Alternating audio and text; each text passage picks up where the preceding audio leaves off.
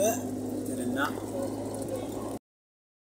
የአይን መነጽር ሊገዛ ነው። ያው እንግዲህ እንደምታዩት የኮምፒውተር ተማሪ ስለሆነ ብዙ ሶፍትዌሮችን ብዙ ነገሮችን እያስተማር እንደሆነ ታውቃለህ። እውነት ነው የእውነት ይኸው አይነ እዚህ ጋር በጣም እያመኝ ሌሊት edit ሳደርግ ምናምን ስሰራ በጣም ነው የሚያመኝ። እንደ allergic ሆኖብኛል። እዚህ ጋር ይቆስላል በጣም እያየህ ነው። አንተ ጎድተሃል። ይቆስላል እና ሰሞኑን ምንም ስራ ሰራው። ስለዚህ ያለኝ አማራጭ አሁን ክሊኒክ እየሄድን ነው። የአይን ክሊኒክ ስንተኛ ላይ ነው? ሁለተኛ አንደኛ first floor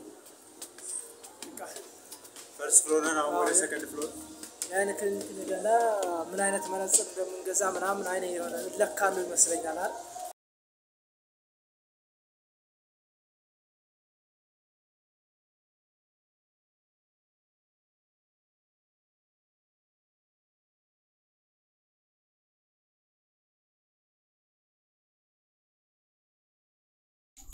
እና ሌላኛው ደግሞ አስገራሚው ከለብሳችሁት ውጭ ላይ ስትንቀሳቀሱ በፀሐይ ብርሃን ማለት ነው። ፀሐይ ባለበት ሰዓት በምትንቀሳቀሱ ጊዜ በራሱ ጊዜ ጥቁር ይሆናል።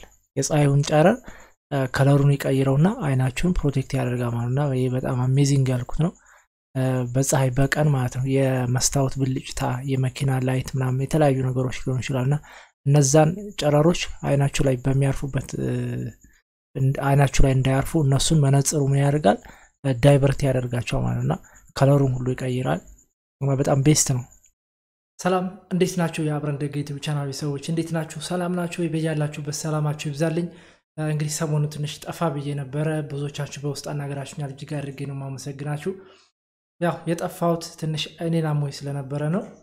I think ችግር ደግሞ የሁላችሁም ችግር ይሆናል ብዬ አስባለሁ እና በተለይ ኮምፒውተር ላይ ስልክ ላይ ብዙ የምታዘወትሩ ሰዎች ልክ እንደኔ ከመታመማችሁ በፊት ጥንቃቄ እንድታደርጉ ምን አይነት መነጽር መስራት እንዳለባችሁ፣ እንዴት መጠቀም እንዳለባችሁ፣ መነጽር አዘውትሮ መጠቀም ጉዳት አለው ወይ፣ አይናችን ላይ effect ያመጣል ወይ የሚለውን መረጃ በደንብ እንመለከታለን። እስከ ቪዲዮ መጨረሻ ድረስ አብራችን ቆዩ። ለዚህ ቻናል ደግሞ አዲስ ከሆናችሁ like እና subscribe ማድረግ አትርሱ። የአብረን እንደግ ዩቲዩብ ቻናል ቤተሰቦች አሁን ወደ ቪዲዮ ወስዳችኋለሁ። አብራችን ቆዩ። ተባብረን እንደግ ካርታችን አንድ ነው። ካርታችን አንድ ነው። OK እንግዲህ መግቢያ ላይ እንደነገርኳችሁ ሰሞኑን ትንሽ ጠፍቻለሁ። I think አምስት or ስድስት ቀን ይሆነኛል ብዬ አስባለሁ ቪዲዮ ከቀረጽኩኝና አይኔን በጣም አሞኝ ነበረ። ከዛ በፊትም ግን በጣም ያመኝ ነበረ። ላፕቶፕ ላይ edit ሳረግ ቪዲዮ ምናምን tutorial ሰራ ወይም ሳነብ ስለማድር እና ቀንም እንደዚሁ በቃ ኮምፒውተር ላይ ብዙ ጊዜ ስለማሳልፍ አይኔ እዚህ ጋር በጣም ይቆስላል። ከስር ላይ ማለት ነው ከሽፋሽፍቱ ስር ላይ እዚህ ጋር በጣም ይቆስል ነበረ። ሁለቱም አይኔ ማለት ነው። እንደውም ጧት ጧት ሰው ሲያገኝ ምለኛ መሰላችሁ ፊትክን አልታጠብከውም እንዴ አንተ ልጅ ምን ሆነህ ነው ፊትክን አልታጠብከውም እንዴ ምናምን በቃ የተለያየ ሰው እንደዛ ይለኝ ነበረ እና በጣም ይቆስላል፣ ያሸቀሽቃል እና ደግሞ እኔ ስለምነካካው እንትኑን ይሄ ያልታጠብኩት የሚመስሉ ነገሮችን የቆዳዬን ሽፋሽፍቶቹን ስለምነካካው በእጅ ይቆስል ነበረ እና ያው ትላንትና ሐኪም ቤት ሄድኩኝ። ሐኪም ቤት ስላችሁ normal ሐኪም ቤት አይደለም፣ የአይን ሐኪሞች ማጋ ማለት ነው። እዛ ጋር ሄድኩኝ። በደንብ ጠየኳቸው። አይኔ ጋር effect ያመጣል ወይ እንዴ ምን ምን ሰዓት መጠቀም አለብኝ ምናምን ብዬ በደንብ ጠይቃቸዋለሁ። እንዲሁም ሰው ደግሞ በተለምዶ ሁልጊዜ መነጽር የምትጠቀሙ ከሆነ ሁልጊዜ መነጽር የምትጠቀሙ ከሆነ አይናችሁ ይፈዛል። ከዛ በኋላ ያለ መነጽር መንቀሳቀስ ወይም ማየት ያስቸግራቸዋል ይላሉ እና ይህን ራሱን ጠይቀዋለሁ ዶክተሩና ምን እንዳለኝ ታውቃላችሁ? ለአይን መነጽር ማለት ልክ እንደ እግራችሁ ጫማ መጠቀም ማለት ነው ያለኝ። in case በቃ በእግራችሁ በባዶ እግራችሁ ስትሄዱና በጫማ ስትሄዱ ለእግራችሁ የትኛው ይመቻችኋል ለእናንተ? ለአይናችሁም መነጽር ስትጠቀሙ የአይናችሁን እድሜ ያረዝመዋል ነው ያለኝ። አይደለም effect ሊያመጣ እድሜ ያረዝማል። ግን ያ የሚሆነው ምንድን ነው? ልክ ተለክታችሁ በእናንተ ለአይናችሁ የሚመጥነውን መነጽር ስትጠቀሙ ባለበት level ላይ አይናችሁ ባለበት level ላይ ታማችሁ ከሆነም ጤነኛ ከሆናችሁም ኮምፒውተር የምታበዙ ከሆነም ባላችሁበት level ላይ ተመርምራችሁ ስታደርጉ ነው ያለኝ እና ሁላችሁም መነጽር እንድትጠቀሙ ነው። መነጽር ስትጠቀሙ ደግሞ በሐኪም ቤት ተመርምራችሁ የአይን ሕክምና እንትኖች ጋር ማለት ነው እዛ ጋር ሄዳችሁ ተመርምራችሁ በቀላል ዋጋ ማሰራት ትችላላችሁ። just ለምርመራና ለካርድ መቶ ብር or ሁለት መቶ ብር ነው የሚሆነው። እኔ መቶ ብር ነው የከፈልኩት። then ከዛ በኋላ ለመነጸሩ ደግሞ ልክ ያቅማችሁን ከዘጠኝ መቶ ብር ከአንድ ሺህ ብር ጀምሮ quality የሆነ ማሰራት ትችላላችሁ ማለት ነው። ስለዚህ ይህን ያህል ምክር ካልኳችሁ ወደ እኔ ስወስዳችሁ ደግሞ እኔ ሄድኩኝ የአይን ሕክምና እንትን ማዕከል ማለት ነው። የአይን ሕክምና ሄድኩኝ። እዛ ጋ ሄድኩኝ፣ ካርድ አወጣሁ፣ መቶ ብር ዘንድ ተመረመርኩኝ። ሲመረምር ደግሞ በደንብ ነው የመረመረኝ፣ በደንብ ማለት ነው። ርቀቱን ላይ ይጠይቃል። የርቀት ፈተና አለው። ይሄኛውን እየሸፈናችሁ ወደ ግራ ነው ወደ ቀኝ ነው ወደ ላይ ነው ወደ ታች ነው የሚሉትን ትጠይቃላችሁ። ፊደሎቹም በጣም ትንንሽ የሆኑትንም ትልልቅ የሆኑትንም ወደየት እንደዞሩ ምናምን ትጠይቃላችሁ። እሱም ያ ማለት የ sight እንትን ካለባችሁ የርቀት ምናምን እሱ ካለ ይለካል። አገጫችሁ እንደዚህ ያደርጉም በደንብ ያያችኋል። በቴሌስኮፕ አይቲ or ማይክሮስኮፕ ይሁን አላቅም ብቻ በደንብ ይታያል። እሱን ተደረግኩኝ። ከዛ በኋላ መነፅር ለብቻ እዛው የራሳቸው ይኖራቸዋል። ሄድኩኝ እዛ መነፅሩ እንደ quality ው ይለያያል። ከ900 ብር ከ1 ሺህ ብር ከ1 ሺህ 200 ጀምሮ እስከ 2 ሺህ ብር አለ። ያ ምንድነው frame ሳይዙ የመስታወቱ ማለት ነው። frame ሳይዙ and ዙሪያውን ያሉት የማስደገፊያዎቹ የእነሱ quality የሚላላጥ የማይላላጥ color ኡን ምናምን እሱ ጋር እንዲህ ደግሞ እዚህ ጋር የሚሆነው በብልክ አፍንጫችሁ ጋር እዚህ ጋር የሚይዘው በጎማ ነው፣ በብረት ነው፣ በብርጭቆ ነው። እነሱ እነሱ እንትኑን የብሩ መጠን ይወስኑታል ማለት ነው። እና የኔን ላሳያችሁ። የኔ ያው በጥቁር ነው ያደረግኩት። የኔ አንድ ሺህ ሰባት መቶ ብር ነች። ያው መያዣዋን አብሮ ነው የሚሰጣችሁ። ማጽጃም አላች አብራችሁ የምትሰጧት ዘን እች ነች። እንግዲህ ከዚህ በኋላ በመነፅር ነው የሚመጣው። ዛሬ ከእናንተ ፊት ላይ እያስመረኩት ነው ማለት ነው። እና አሁንም እንደውም ላይቱ እንትን እያለኝ ነው። ምክንያቱም የሚቀባ መድኃኒት እዚህ ጋር ሰጡ የነበረ እሱን ቀብቼው ስለነበረ ቀን እንደውም በጣም ሲያመኝ ነው አለ። just እችን ያረኳት የኔ የኔ አንድ ሺህ ሰባት መቶ ብር ነች። አንድ ሺህ ሰባት መቶ ብር ነው የገዛዋት። እና የሚገርማችሁ ነገር በቃ በጣም ነው የገረመኝ። ስመጣ መኪና ላይ በጣም ፀሐይ ነበረ።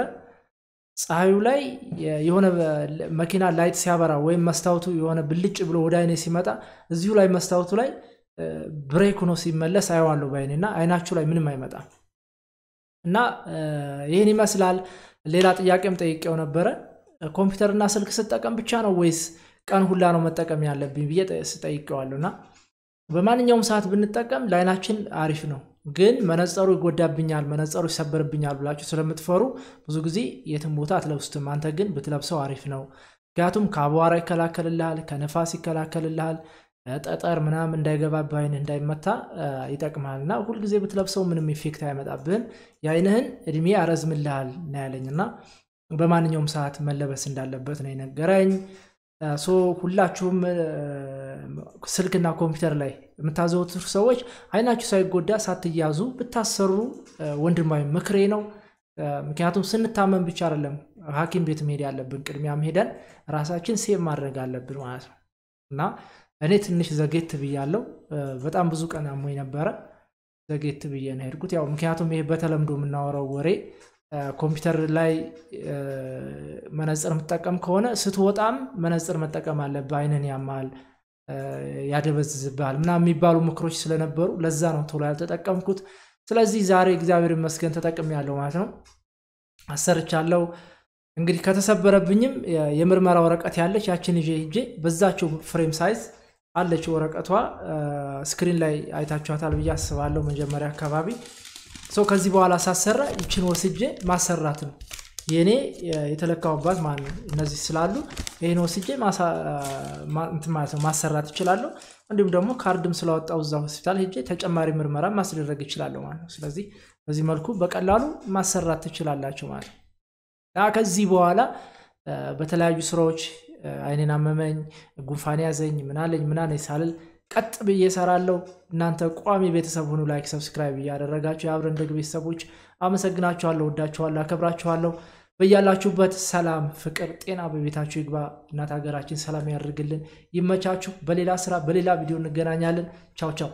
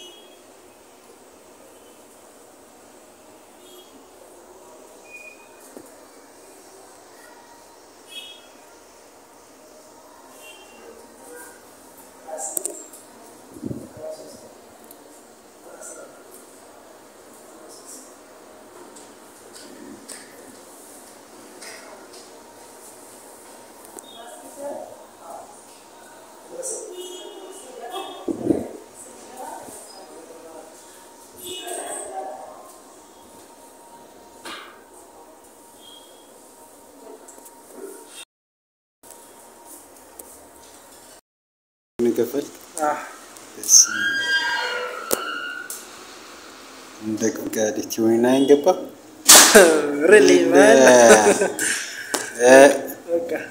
አበደ ነው